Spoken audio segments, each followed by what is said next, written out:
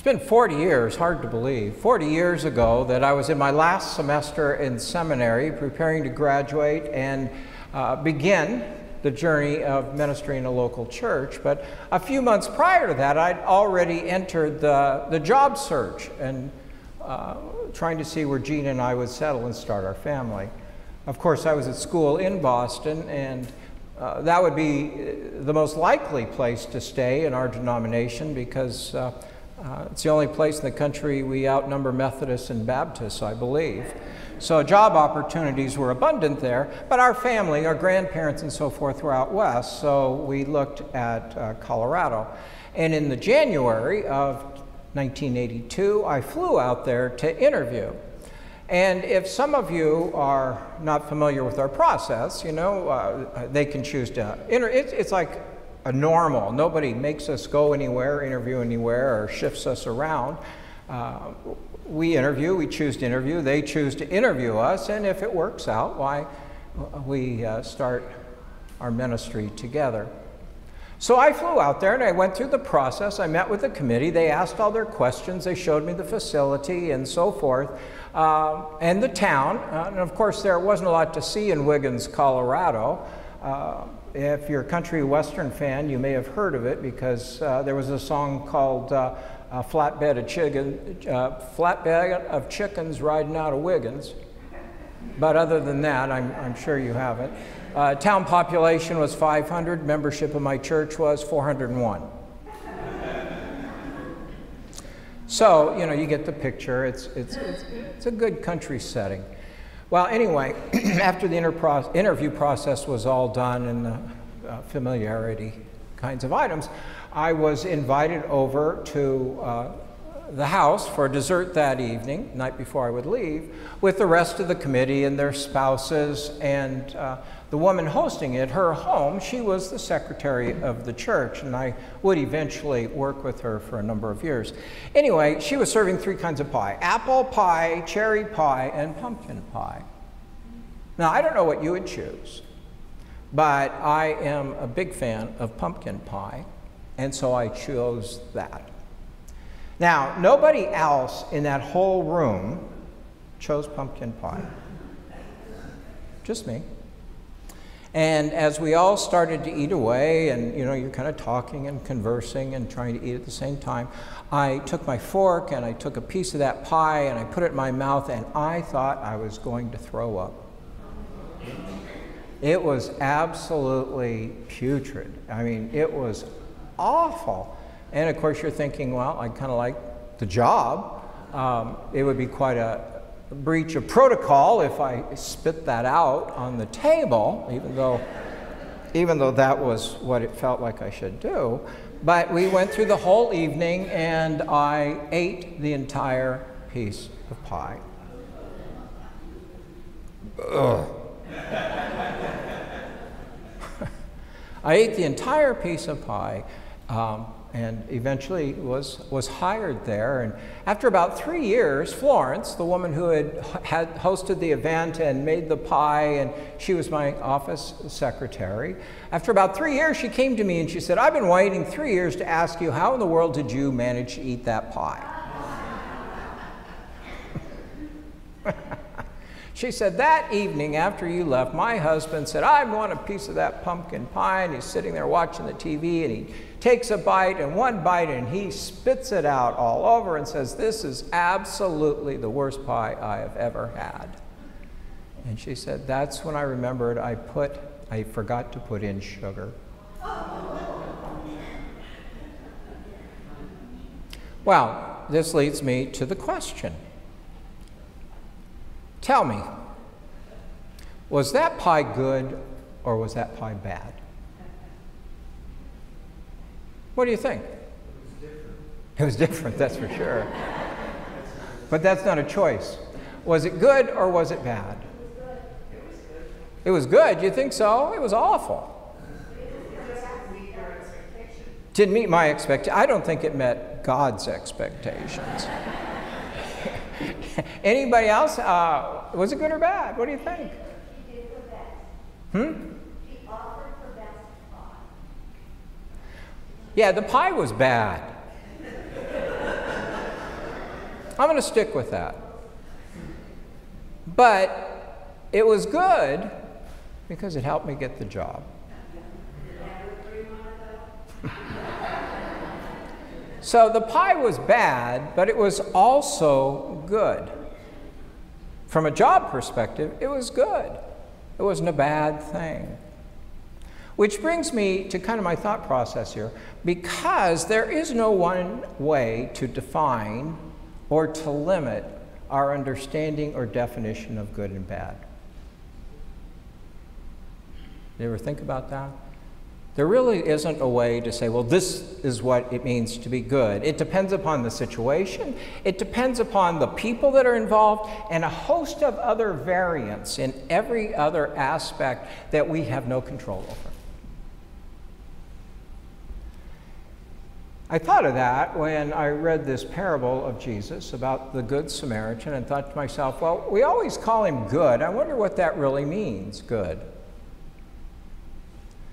And of course, when we listen to Jesus' stories or uh, reflect on his parables or his message, we hear them all, but I think most of us, when we, when we hear these stories and we think about the characters in them, we always think of them from the perspective of the good person we read ourselves into the story as the hero, the one who did right, the one who acted smart, the one who was the definition of good. Do you remember uh, Jesus said, uh, he talked about uh, the religious figure who's standing at the altar and he's praying next to a, a tax collector, and his prayer is, Thank God I'm not like this man. which is e- immediately, who are we in that story? Well, I'm the good person. I'm not that guy. Maybe I wouldn't say it that way, but I'm not that person, thank goodness. And yet, Scripture does not come alive unless you're willing to take the risk of reading yourself into all the characters, to see the story from 360 degrees, not just a narrow vision, to understand why is each of those characters there? What's their role? How important are they? And what do they have to say that's deeper and farther and richer than face value? That's how Scripture stays alive. You know, if you read it just one way, all you see is this Good Samaritan and the villains in the background and whatever else, because that's the way it's been preached or taught or whatever. But it comes alive and it makes us think when we say, well, what if I were this other person? What if I were this other person? And this story of the Good Samaritan is a prime example and invitation to do this because we have three main characters, three main perspectives on the same event. To begin with, we have the man who's beaten and robbed. Now, I don't know if anybody here has ever experienced that, been robbed or had something stolen or uh, mugged or whatever. It's not a good feeling. It's, it is a violation. And beyond that, you know, you're, you're at your worst. You get beat up and you're laying there who's going to help you? You know, you're thinking, is anybody going to come along? Am I going to live? Am I going to die? I wonder how bad my wounds are. And you really don't care who helps you, do you? You just want somebody to come along and help. So you toss out any other kinds of, well, I don't want that kind of person, or I don't like that kind of person, or I hope that kind of person doesn't. You don't care. You just want somebody to help you. Believe me, I grew up in western Nebraska, and your car breaks down, you're going to take a lift from anybody who comes along. You know, it's like the guy driving out in, in the middle of nowhere out there, and he stops to pick up a hitchhiker, and the hitchhiker says to him, you know, uh, I'm kind of surprised you picked, picked up a hitchhiker. What if I was a serial killer? And the driver said to him, Well, I thought about that, but you know, the odds of two serial killers being in the same car is pretty.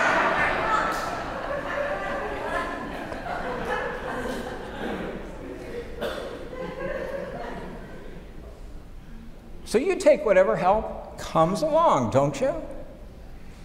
But in addition to that, I wonder what he's doing there in the first place. I wonder how smart this guy is or, or what he thinks. He's traveling alone on one of the most dangerous stretches of road you can imagine. Jerusalem is 330 feet elevation above Jericho. Jericho is 700 feet below sea level. This is a strenuous climb and walk down into the depths of the desert. Uh, nobody is there except Bedouins to this day with their, their sheep and their wandering. It's a great place to hide out. And if you're going to mug somebody, this is the place to do it. So, why is, why is he there? Why is he walking alone? Was he visiting family? Was he on business? Um, we don't know. the story doesn't want us to get into any of that. None of that matters. He must have been worth robbing, we know that, but even that's relative. I mean, you know, you don't have to have a lot for somebody else to want what you do have. And so the man who's beaten, that's not, there's nothing there to look for. His name is not given, and his face is blurred. He's just a per- person in desperate need of help. Have you ever been there? Have you ever been, felt that way? I mean, not maybe literally beaten up, but have you ever felt beat up by life? Down at the bottom, robbed of this, robbed of that, robbed of health, robbed of sight, robbed of, you know, whatever. Have you ever been there? How you got there, what the path you chose, none of that really matters at the time. All you want is someone to care, someone to provide assistance and help. so there's one perspective in this story. We've all been in the place of the man beaten and robbed. Then also we have the priest and the scribe. Now, most often these people these characters, you know, they're portrayed almost as heartless and villains. But let's give them a break. Let's cut them some slack. These were the keepers of the law. These were the Supreme Court of the Jesus era. I mean, they interpreted the laws and whether people were getting upholding them. And you know, 630 laws don't eat this, don't eat that, uh, don't work on the Sabbath. Well, what is work? Is, is carrying keys in your pocket work or is it not? You know, all these kinds of things. And one of the laws is you don't touch someone who's bleeding. The purity laws, you know, for whatever reason, blood was a, a big red flag, no pun intended, uh, a big red flag, a no no. And so here's the irony they're keeping the law, they're not doing anything wrong. In fact, they're doing what everybody would expect them to do. They are doing the righteous thing. Think about that for a while. We always jump on them, but by the law of the day, they were doing precisely what everybody would expect them to do. You know, it, let's just say they had some religious responsibilities. They were coming from Jerusalem, but maybe they had some others. If they did and they touched this man in any way, they would not be able to do them, perform them. They would be unclean. So they would have to abstain, step back, be separated for a period of time, then go through the ritual and be declared clean again by another priest. So they would be out of action for some time. So they were not only keeping the law, they were keeping their appointment schedule. They were keeping on track with what, with what they're supposed to do, what they're paid to do, what their job description says they should do. And they know that guy needs help, but, but you know what? I have things I have to get on to. I have responsibilities, you know. I will call somebody else.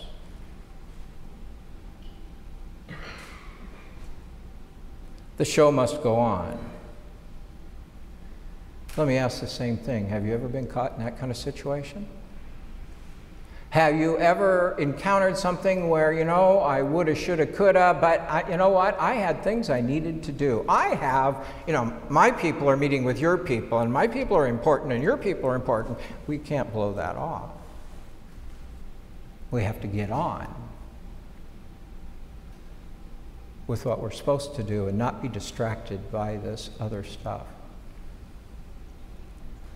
You know, there is a challenge. This, this, this did happen to me. What do you do if you're in my position, my job, my responsibilities, and you're at the peak of church season? A lot of people coming, they're all expecting, uh, yeah, somebody can fill in, but to a degree, they're expecting to see you.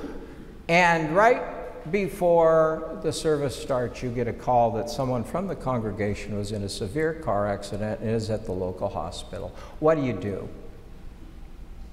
They may die. Do you say, well, they can wait an hour? I'll cut the sermon down to 45 minutes. That's a joke, friends. Huh? Maybe I am preaching too long. I have to work on that. You know, what do you do?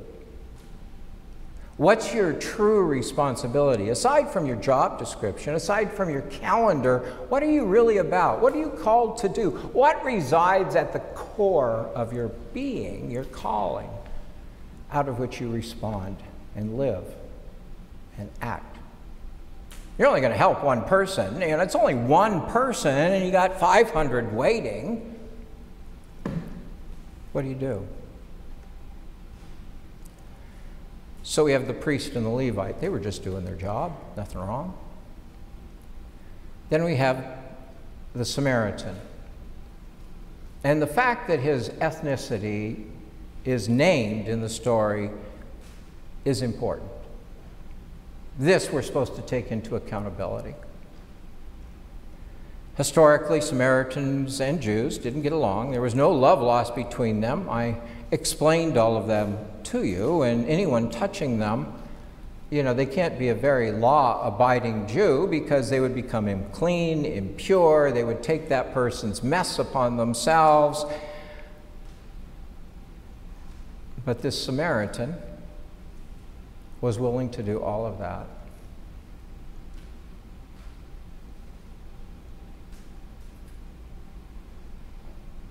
I don't think the man beaten cared that he was a Samaritan, and the Samaritan didn't care anything about the man's whatever that was beaten. All the Samaritan saw was the need beyond his own needs, and he helped. And not only did he dive into the situation and get his hands dirty, you know, this is risky business. Wouldn't you be thinking, man, those guys mugged him. What if I stop? What if they're still looking around? They might get me. And where he goes the second mile is he does the triage he needs to to get this person up. And I don't know, maybe put him on his donkey, I don't know, and took him to the nearest Palms hospital. But he says to the administrator of the hospital, he says, you know, take care of this person, and anything that Medicare doesn't cover, I'll cover. Now, once again, we might say, well, he obviously had the wealth to do that. You don't know that. All we know is he was willing to take on whatever needed, whatever was needed. He was willing to take it on and take this man's load as his own. So I tell you, this is what we know about these characters when you look at them from all these different perspectives. And I'm just scratching the surface. You could go much deeper. So my question is, is it fair to really label any of them good or bad? Really, is it fair to place on them a label of good or bad? Uh, solely upon the one story we know. I would submit that the priest and Levite, probably in other situations, were looked upon as very good and having done the right thing, you know?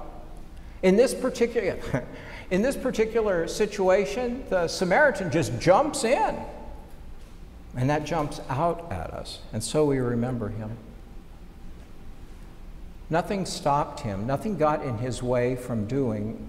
And I think this is really at the core not only of the parable of what I hope you will take home with you.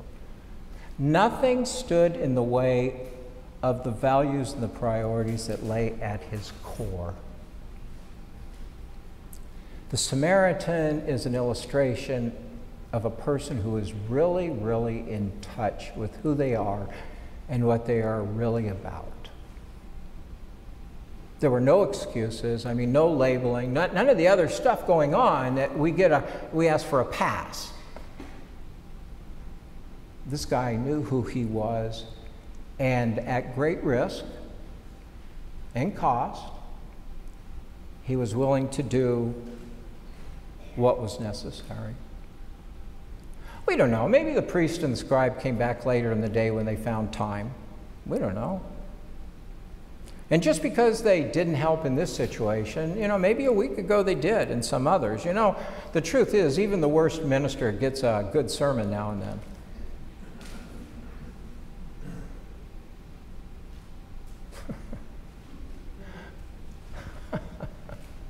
Father and the Son are walking out of church. Father and a son are walking out of church, and the little boy gives his offering of a dollar to the minister, and the minister says, So why are you giving that to me? Well, I thought it was the right thing to do because my dad says you're the poorest preacher he's ever heard.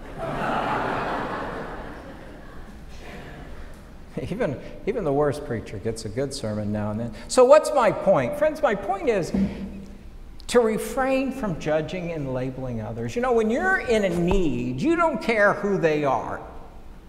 And if you're really a person who wants to help, you don't care who the person is that needs help because at your core is that priority and value that says, I just need to help. That's who I am. That's what I do. Now, I know that at times situations and skills don't match. You know, uh, people stop and take pictures when there's a car accident when they should just get out of the way and let nurses or other healthcare people stop and do what they're trained to do. I understand that. But maybe there's something else they can do or help. Maybe it's just keeping people away from the other people. I don't know. You have to know what you're going to do. My family was on an airplane one time, and my daughter, the psychologist, and myself, and my father in law, the geologist, and they asked, Is there a doctor on the plane who can help? Well, we're all three doctors, but our skills don't match that need. You know, that doesn't make us bad people. It doesn't. It, it, there's, what else can we do?